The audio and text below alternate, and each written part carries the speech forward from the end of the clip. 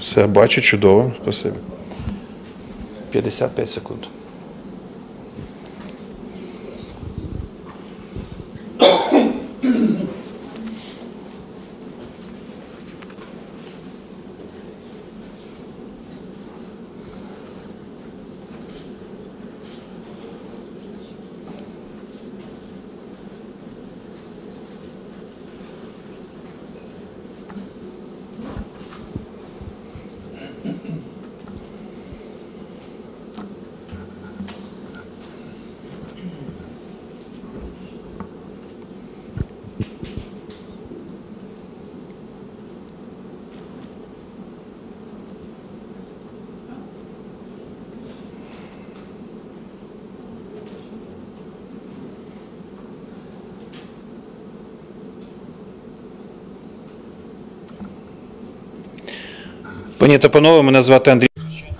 Ladies and gentlemen, I'm Andriy Shevchenko, and on behalf of Ukraine Media Center team, uh, I'm glad to welcome all journalists here at Ukraine Forum.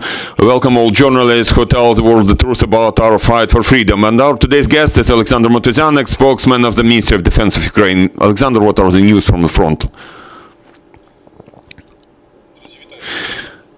Good afternoon, dear friends. I'd like to share with you information about the Russian military aggression against Ukraine. Information as of noon today. So the enemy has been carrying out an offensive operation in the eastern area of operations. The main aim of the enemy is still the same, which is surrounding the group of Ukrainian defense forces and taking full control over territories of Donetsk, Luhansk, as well as Kherson oblasts, and ensuring resilience of the ground corridor to the occupied territory of the Autonomous Republic of Crimea. Russian troops have been gradually increasing the intensity of their offensive action in eastern Ukraine uh, in all directions at the same time, and the highest activity at the moment is observed in Slobozhanshchina and Donetsk directions. In addition, there have been signs of the aggressor preparing for even higher intensification of combat activities. This is supported by some preparations of the enemy. For example, in Central Clinical Hospital of the Balaklia district, beds are prepared and an additional field hospital has been prepared. And in the Russian city of Rostov-on-Don, in the territory of military clinical hospital, there have been additional refrigerations uh, developed to keep dead bodies of the dead military. Several words about the operational situation. The enemy's rocket and aviation strikes continue against both military and civilian targets all over Ukraine. In particular, the tactical aviation of the uh, air and space forces of Russia has flown at least 33 times to hit targets in Kharkiv and Donetsk oblasts. Russian long-range Tupolev 22 M3 bombers have fired 32 times, uh, including at least eight times for bombing Mariupol. We cannot exclude that uh, sea-based cruise missiles will be based from sea uh, from Black Sea by Russian ships. Now information by areas. In Slobozhanshchina, the enemy's group from the 6th Army of Coast Guard, Baltic Fleet, Western Military District and Northern Fleet continues aviation strikes against Kharkiv and shelling Kharkiv by artillery. On Izium direction, the enemy has been using the 1st Tank Army, 20th Army of the Western Military District, 35th Army and 68th Arm Army Corps, as well as paratroopers, uh, is carrying out offensive action in Izium-Barvinkovo and Izium-Slaviansk directions. Russian occupational forces continue their illegal activities in occupied territories in, Khers in Kherson, uh, in Kharkiv uh, Oblast. In particular, from Kupiansk and other towns and villages, people have been forcefully deported to Russian Federation. The aggressors also uh, disseminate fake information that Kiev, Kharkiv and Zaporizhia are uh, taken. In Donetsk direction, units from so, so-called 1st and 2nd Armed Corps, as well as the 8th Army of the Southern Military District, 5th Army, and the 95th Tank Division have been carrying out active combat action along the whole front line. The aggressor has been making aviation strikes, air strikes, and artillery shelling. The enemy has focused its key efforts on the offensive action in Liman, Severodonetsk, Popasna, and Kurakhove directions in order to take full control over Rubizhny and Popasna and combat reconnaissance towards Liman, Slavyansk, and Barvinkove. The enemy also continues airstrikes against Mariupol.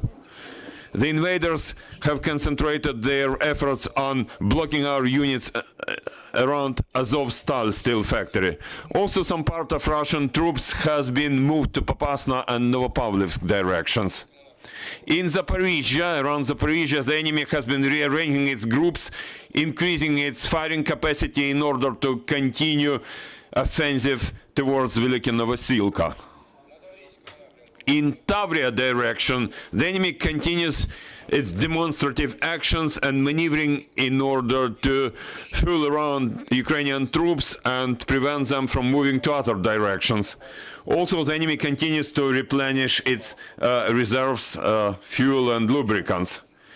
In South Bug area, the enemy has been using units from its 8th and 49th armies as well as 22nd Arm, Arm Corps uh, has been acting in order to improve its tactical situation. The enemy continues firing against our units, rearranging its troops, increasing its firing capacity, strengthening its uh, engineering equipment, and trying to replenish its ammunition. In Volyn and Polissa areas, there are no significant changes in the situation. Some units of Belarusian armed forces continue implementing assignments to strengthen the border of Belarus with Ukraine in Brest and Homel oblasts. At the same time, we cannot exclude that the enemy would conduct some provocations in order to accuse Ukrainian armed forces. Also, there is still a threat of rocket strikes by the enemy against military and civilian infrastructure in Ukraine from Belarusian territory, from the Republic of Belarus. Also, as our intelligence has learned, in an airfield in Brest Oblast in Belarus, 130 kilometers from its border with Ukraine, there have been six airplanes of Russian tactical aviation. Also in Mogilev Oblast, 170 kilometers from Ukrainian border, there has been a division of Iskander uh, tactical missiles deployed. In Siversk area, the enemy continues shelling against areas bordering Ukraine. In particular, there has been artillery shelling around Kindrativka, Katerinivka, Svarkova and Bilokopitovo. It is being done in order to uh, restrain Ukrainian defense forces, and we expect that the aggressor will continue such tactics. Now about Black Sea and Sea of Azov areas of operations. Black Sea, uh, Black uh, Sea Fleet ships in Black Sea and Fleet, Sea of Azov continue rocket strikes against Ukrainian territory, as well as doing reconnaissance and providing fire support to their troops in the coast. Also in the Black Sea, at the moment, there have been three carriers of cruise missiles, Kalibr type cruise missiles, their total launch capacity is up to 20 missiles, 20 rockets. According to the information of the General Staff of the Armed Forces of Ukraine, over the last day, uh, air defense units of Ukrainian Air Forces and Ukrainian Ground Forces have hit 10 targets, including one airplane as and nine tactical UAVs, Orlan type UAVs. In Donetsk and Luhansk oblasts, over the last day, our brave warriors have repelled 14 attacks by the enemy, destroying uh, 14 tanks, 7 artillery systems, 28 armed vehicles, and 14 cars and trucks. The total losses of the enemy have been shown on this slide. Today, the General Staff already published those data. So uh, that's all information I have by this time. Thank you for attention. Glory to Ukraine. Glory to heroes. Any questions? You're welcome.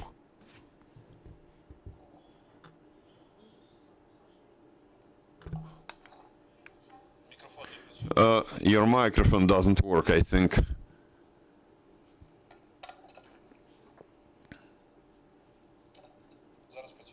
No, it works. Sorry, the interpreter cannot hear. The interpreter cannot hear the question. The interpreter cannot hear the question. Sorry. We know that the Russian Federation has already been carrying out so-called hidden mobilization in some regions of Russia and actively uh, hiring mercenaries for in uh, for combat action in Ukraine. Also, so-called mobilization continues in temporarily occupied towns and villages of Donetsk and Luhansk oblasts. There, people are just caught on the street. They're given some uniform and sent to the front line. We are aware of that too. But whether Russia is to declare a full-scale mobilization will definitely depend on the military action in the eastern area of operations. So if the enemy fails to achieve its planned goals in the nearest future, this scenario is completely possible. We cannot exclude it.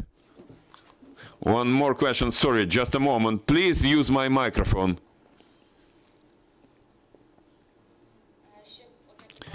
One more question. At the moment, Ukrainian uh, military is trained to use new weapons received from our foreign partners.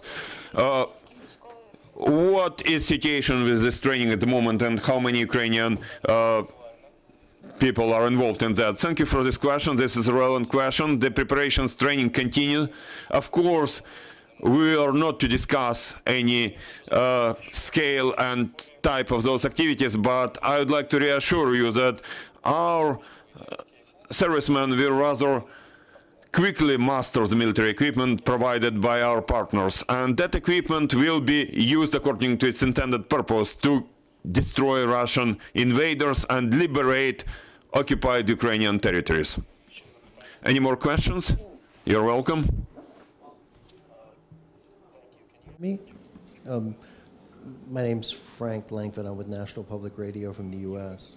I have a specific question. Um, are any of the American howitzers in action yet? And if not, uh, when will they be put into action?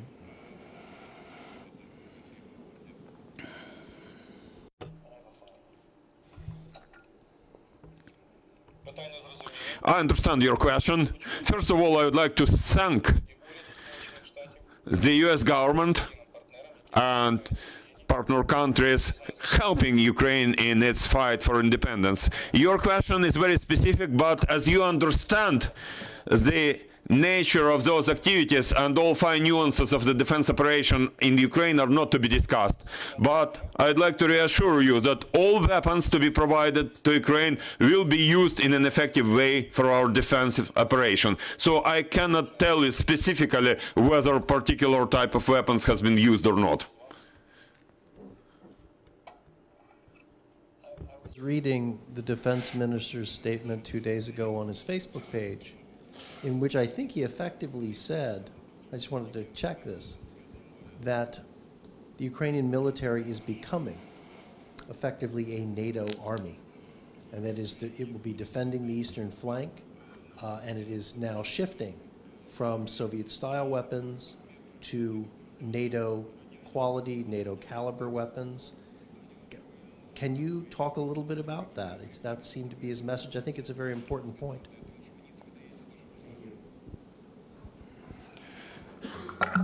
Сьогодні російсько-українській війні збройні Currently, in this uh, Russia-Ukraine war, Ukrainian armed forces use the full potential of weapons and equipment. Both those weapons which have been used by the Ukrainian armed forces and weapons provided by our partner countries. We need weapons, unlimited quantities of weapons, because the Russian Federation has been using its weapons against us without any restrictions. Uh, it is running a completely dishonest war against us and uses types of weapons which Ukrainian armed forces don't have. So we do need weapons and without any limitations, actually. And I can add that uh, in this particular post on Facebook, the Minister of Defense quoted that example of 155 caliber in artillery, which was not used by the Soviet army, but it is being used by NATO allies. And according to Minister of Defense, uh, it was told that Ukrainian military has been now mastering that caliber to actively use those weapons in military action. That's it, that's the situation. Any more questions? My last question will be this. Uh, it's about Mariupol. Have there been any signs that the intensity of combat action is uh, lowering by uh, Russian invaders? so that some progress would be possible in arranging humanitarian corridors from that besieged city. As of now, the situation there is mostly the same. Russia has been blocking all humanitarian items from Ukraine. There are rocket strikes and bombing against the city and, and, and, and, and, the territory where uh, Russians block our units around Azovstal. The only thing is we don't see any ground assault, but artillery shelling is there and air bombing and rocket strikes are there by Russian military. They continue. So the situation does not change there as yet. Uh, so, any more question? question about the Donbass. You gave us a lot of examples of things that are happening in individual places. But overall in the Donbass, are the Russians making progress or are you holding them back? How would you describe that?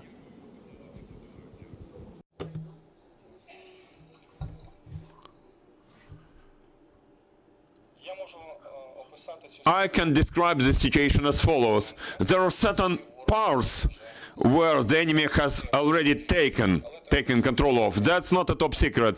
But you have to understand that there has been rather intense combat action.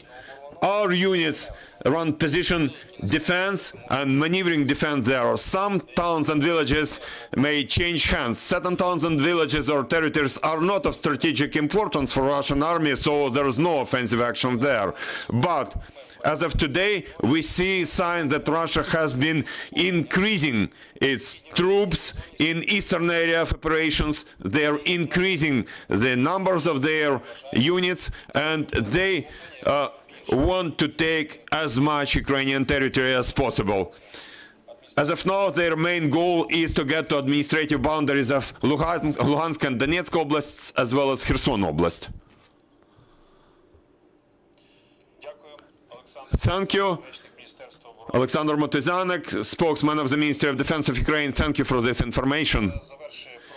Now uh, we complete our schedule for today.